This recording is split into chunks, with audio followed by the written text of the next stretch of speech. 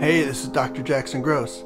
Today we're out in the abalone shed at the Bodega Marine Lab with Dr. Sara Boles, the abalone queen herself.